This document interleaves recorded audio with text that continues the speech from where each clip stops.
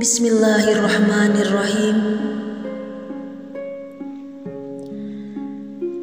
Assalamualaikum warahmatullahi wabarakatuh.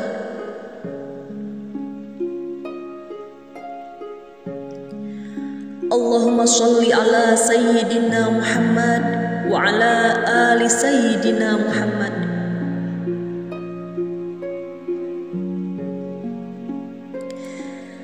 Di saat anak membentak, lupa, dan tidak peduli pada ibunya, itu lebih menyakitkan daripada melahirkannya. Maka jagalah perasaan orang tuamu, karena di antara tanda kelembutan, kebaikan, dan kasih sayang kepada kedua orang tua. Apalagi kepada ibu di saat beliau sudah tua. Jangan melibatkan mereka terlalu dalam dalam kepedihan dan masalah-masalah yang menimpa. Karena orang tuamu akan sangat sedih bahkan bisa jadi lebih sedih dari apa yang kau bayangkan.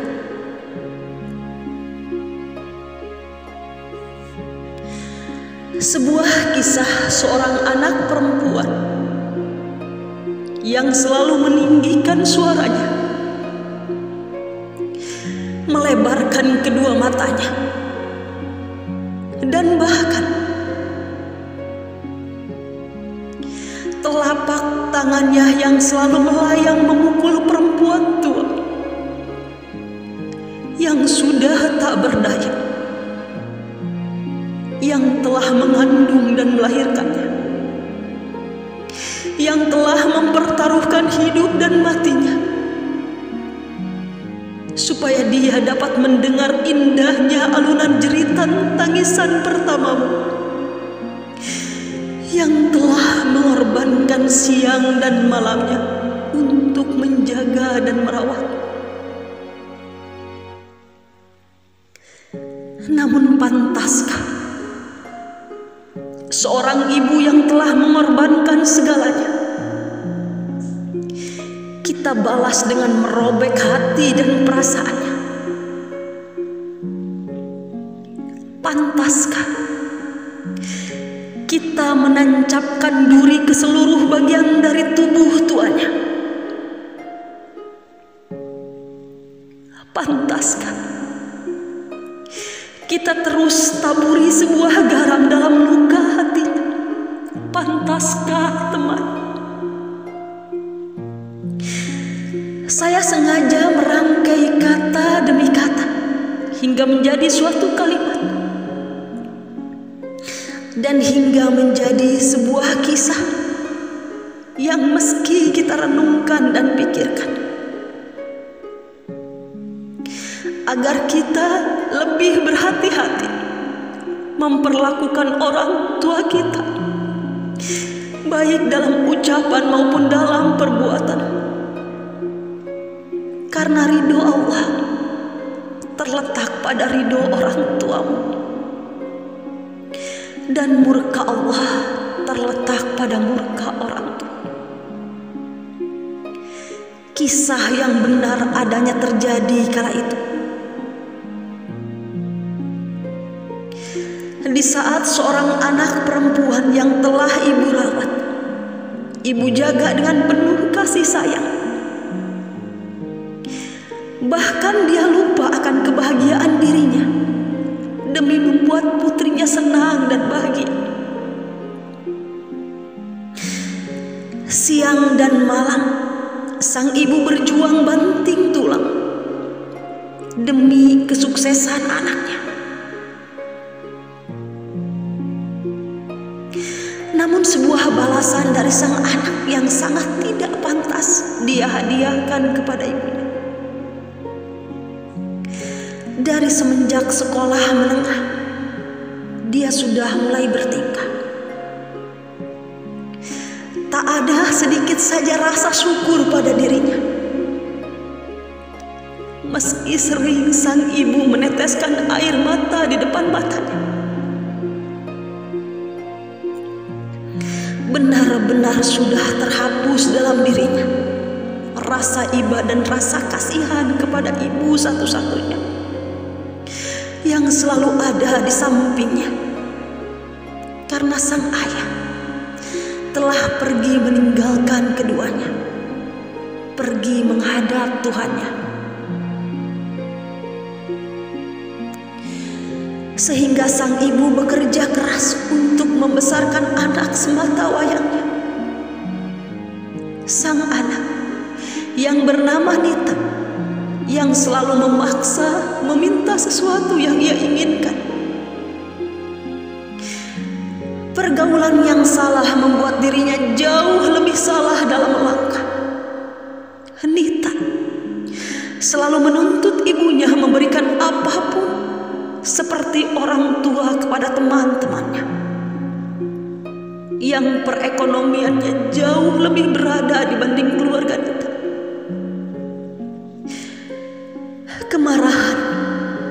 omelan, bentakan, bahkan pukulan kerap ibu dapatkan dari anak yang selalu ia rawat dengan cinta tulusnya. Tak henti sampai di sana. Setelah Nita lulus sekolah, hingga dia bekerja, dan hingga dia menikah. Sikap dan tingkah lakunya tak pernah berubah dia anggap ibunya sebagai pelayan dirinya seumur hidupnya. Nita selalu berkata lembut pada suaminya, namun sangat kasar pada ibunya. Nita selalu memperlakukan sangat baik pada suaminya, namun sangat buruk pada ibunya. Bahkan Nita tak segan-segan menambah bebannya untuk melayani dirinya dan juga suaminya. Sang ibu hanya pasrah mendapat perlakuan itu karena besarnya rasa cinta pada dirinya. Setiap hari di sela pekerjaannya mencari pundi-pundi rupiah. Sang ibu yang selalu mempersiapkan makan untuk anak menantunya. Sang ibu yang selalu mencucikan pakaian mereka berdua Sang ibu yang selalu membersihkan kamar dan rumah tanpa mereka bantu sedikit. Sang ibu yang selalu mempersiapkan segala keperluan anak menantu. Semuanya ibu lakukan. Segalanya ibu kerjakan. Bisa kita bayangkan teman. Tidak cukupkah seorang ibu menjaga dan merawat kita di waktu kecil saja? Sampai kapan kita jadikan ibu kita sebagai pelayan kita? Sampai kapan kita menuntut ibu kita mengabulkan segala keinginan kita? Sampai kapankah teman? Apakah sampai ajab dari Sang Maha Kuasa menimpa diri kita? Lalu kita berpikir untuk memperbaiki segalanya ataukah sampai mata kedua orang tua kita tertutup untuk selamanya? Dan ataukah sampai tanah merah menimbun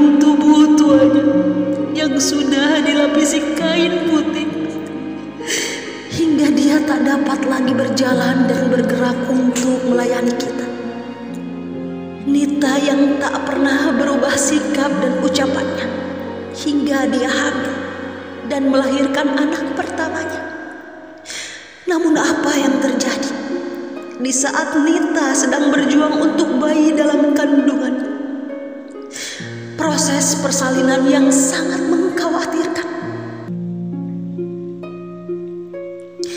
Tiga hari tiga malam kondisinya sangat mengkhawatirkan.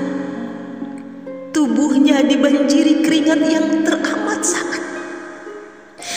Air mata mengalir deras tanda menahan sakit yang sulit untuk digambarkan. teriakan dan juga tangisan tak henti terus memenuhi Setelah merasakan sakit yang nampak berbeda dari perempuan lainnya, Nita harus mendapat kabar yang menusuk jantungnya, melukai hatinya bahwa anak yang ia perjuangkan meninggal di saat masih dalam kandungan.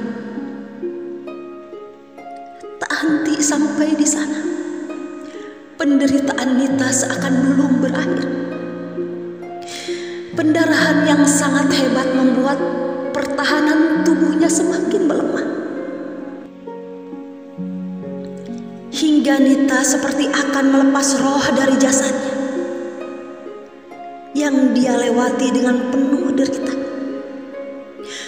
Tubuh yang masih dibanjiri keringat dengan sakit yang teramat sangat lidah yang menjulur. Seakan pertanda derita yang dia alami saat itu tak bisa kita terka dan kita kira. Penderitaan demi penderitaan yang bertubi-tubi membuat mata hatinya terketuk dalam mengingat sesuatu bahwa dirinya telah banyak menyakiti ibunya. Terbayang dalam ingatannya betapa kasar perlakuan selama ini yang dia berikan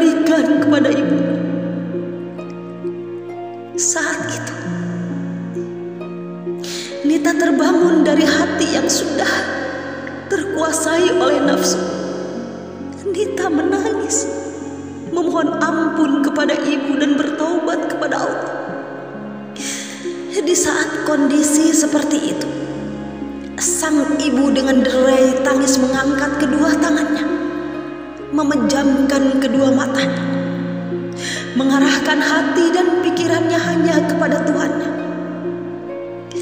Dia bermunajat memohon ampunan atas putrinya.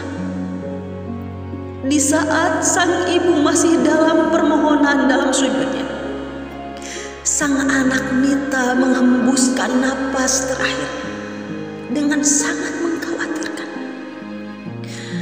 Akhirnya Nita dan bayinya meninggal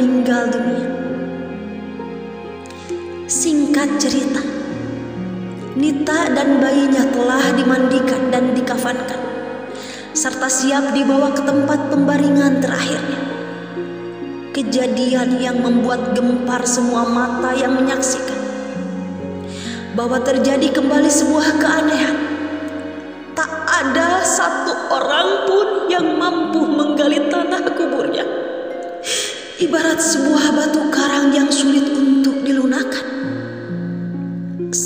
suami bersimpuh di hadapan sang ibu, memohon ampunan atas istrinya.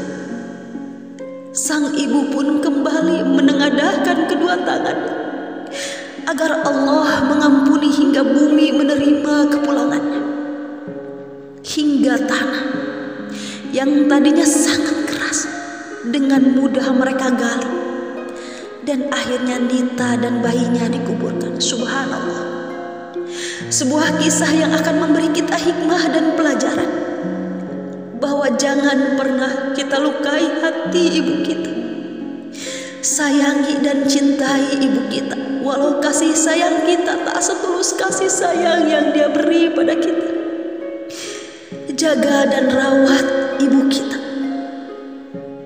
Di saat tubuhnya sudah tak sekuat dulu lagi. Temani orang tua kita dalam melewati masa tua. Mohon maaf sahabat. Kebenaran datangnya dari Allah Subhanahu wa taala. Adapun hilaf, kesalahan dan juga kekeliruan semata-mata datangnya dari kebodohan diri saya pribadi sebagai manusia biasa. Akhirul kalam wassalamualaikum warahmatullahi